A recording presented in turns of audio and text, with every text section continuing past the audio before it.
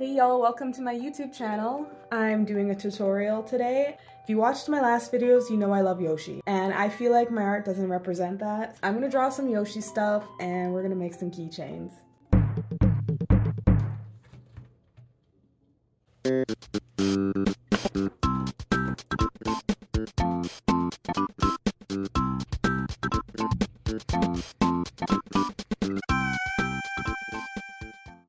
For this project, I picked my favorite Yoshi's Island characters. I'm drawing them on an 8.5 by 11 sheet of paper on my Procreate app. And since we're using shrink plastic for this project, I want to draw these about three times the size as I want the final product to be. I can usually fit like six or seven keychains on a sheet of paper. I'm just going to finish the sketches now.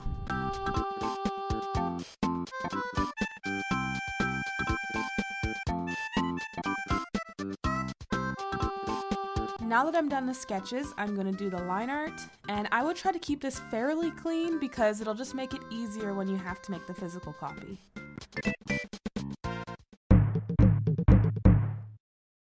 What I do next is print out a physical copy, and then I lay that down on my light board and put shrink plastic on top. Then I fasten it down with some tape. Now that it's secure, we can start doing our line art.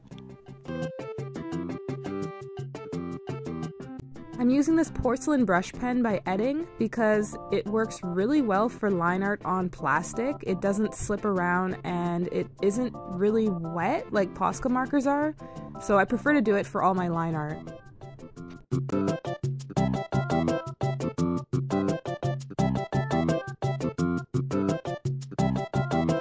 If you make any mistakes here, that's fine. You can actually just scratch it off with a toothpick.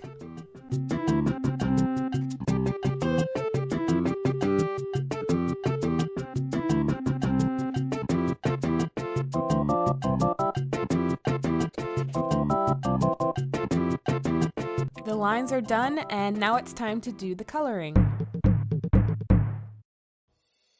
For coloring, I'm using Posca markers, but there are a lot cheaper options out there these days, so you don't really have to spend so much on paint markers.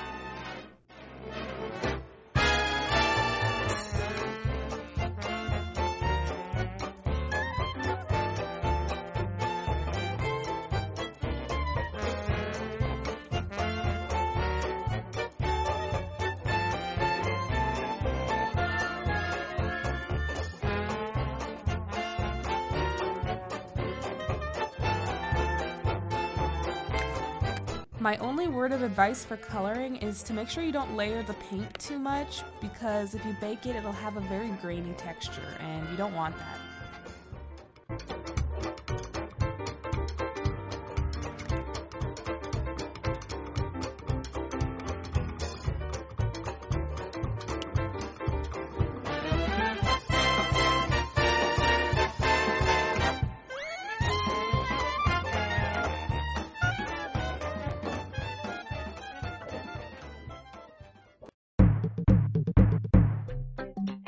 For this step, we're going to cut out our characters.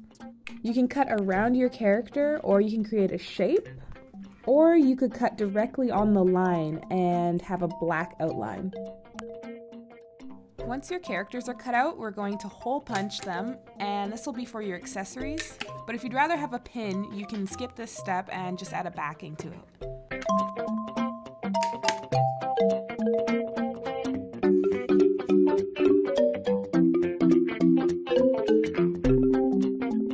The shrink plastic I'm using, I need to preheat my toaster oven to 350 Fahrenheit, and then I leave it in there for about 30 seconds to one minute, just until they're small, and then I press them down flat with like a book or something. And you'll have your finished little guys. Sometimes little imperfections pop up after the baking process, so I like to go over it with the black fine tip pen and just clean it up a bit. I cut my Yoshi egg keychain along the line and just to give it a finished look I like to color the outline black.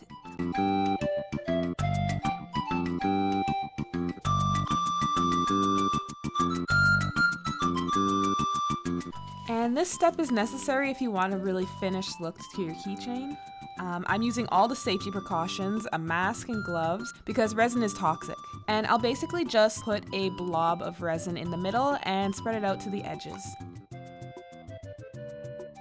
And then I cure it for two minutes on each side, and I have a finished charm.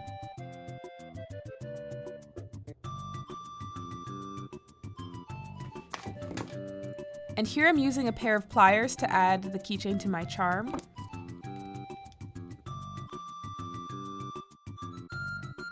And I just need to finish the rest of them.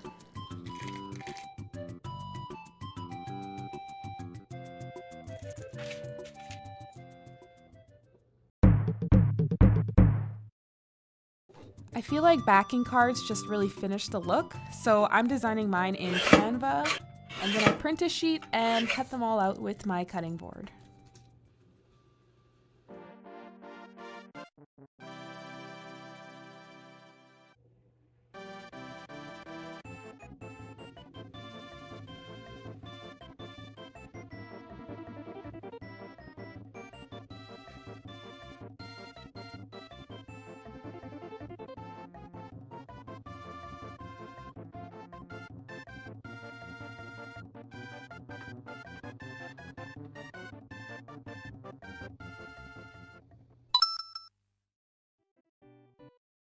Hi guys, I hope you found that tutorial helpful and if you'd like more tutorials let me know.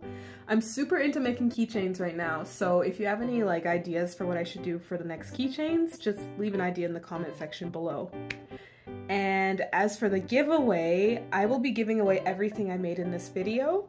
And I think I'll be doing pretty similar things for my next videos. If you like these keychains, you can go to the description box below and there's some information there on how you can sign up for the giveaway. I'll be giving away three keychains on YouTube and three keychains on Instagram. But yeah, thank you so much for watching my YouTube video. I'll be doing a lot more tutorials in the future.